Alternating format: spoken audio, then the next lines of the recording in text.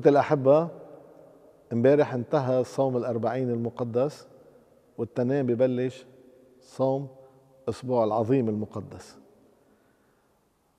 وبين الجمعة والتنين في يومين كتير مهمين بحياة كنيستنا بتاريخ المسيحية والأحداث الخلاصية.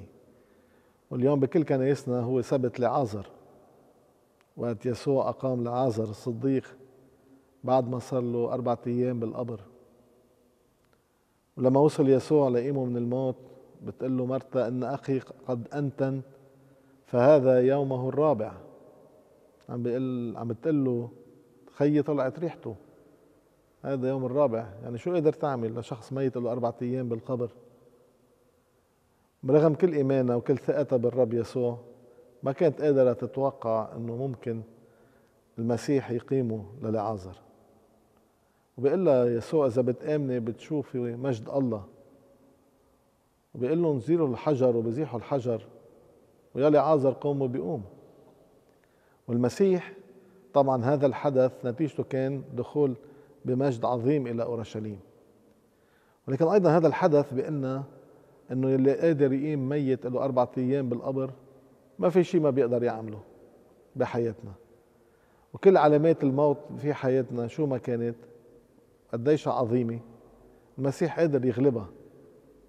ولما نحن بنعلن انتصار يسوع على الموت وقت أقام لعازر بحاجة بهالنهار نعلن انتصاره على الموت اللي بحياتنا. وناخذ نصرة من الرب ونعلن يا رب أنت قادر تغلب هالتجربة بحياتي اللي أنا عم بعتقد إنه خلص حكمت على نفسي إنه ما رح اتغير. أنت قادر تعطيني النصرة على هذا الضعف اللي فيي. أنت قادر تعطيني النصرة على هالقلة المسامحة اللي عندي إياها هالشخص أنت قادر تعطيني النصرة على الموت النفسي اللي عندي إياه نتيجة اختباري لقلة المحبة من الآخرين. أنت قادر تعطيني غلبة على الموت الروحي اللي أنا فيه على حياة الصلاة التعبانة اللي أنا فيها على الاستسلام اللي أنا فيه. يسوع المسيح بسبت لعازر لما أقام أقامه لعازر ما حدا عمله بالتاريخ الحدث قبله ولا بعده. ما في بالتاريخ البشرية كلها. وهذا الحدث يجب أن يطبع تاريخ حياتنا الشخصية. أنه متعلق بإنسان مثلنا اسمه لعازر. متعلق بناس بحبوه كانوا ليسوع اسمهم مرتا ومريم والعازر ونحن لما بنحمل حدا من مرضانا أو حدا من إخوتنا اللي مش عم بيتوبوا أو التعبانين روحيا أو اللي عايشين بالخطية يكون عندنا ثقة بالرب إنه قادر يقيمه. أوقات بنقول بالصلاة هيدا الزلمه خلص مقطوع الأمل منه هيدا خيي مقطوع الأمل منه هيدا قرابتي مقطوع الأمل منه هيدا زوجي هي مرتي مقطوع الأمل منها هي بنتي ابني بيي إلى آخره. في كثير أحيانا بنقول هول الأشخاص مقطوع الأمل منهم ولكن هذا النهار وهذا الحدث بخلونا نقول لا ما في حدا مقطوع الأمل منه. ما في حدا حتى لو طلع ريحته مش قادر المسيح يخلصه.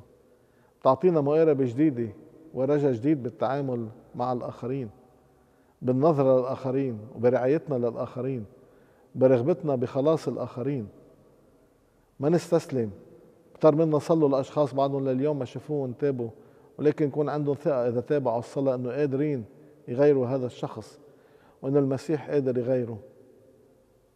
لأنه يلي بالقبر مش عارف حاله إنه بالقبر ولكن اللي بحبوه واللي حواليه كانوا عارفين إنه لعازر بالقبر. وهن اللي إجوا عند يسوع يطلبوا هذا الخلاص. يسوع استجاب. ربنا يعطينا نعمة إنه ما نيأس من حدا ونسلمه للرب وأيضا خاصة ما نيأس من نفسنا ونسلمه علامات الموت ونعلن نصرة المسيح عليها. آمين.